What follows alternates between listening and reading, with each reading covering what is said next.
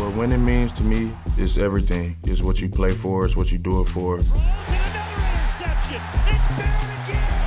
Nothing kind of beats that feeling to win. Winning at life, winning at, in general, I feel like winning is just the ultimate feeling of success.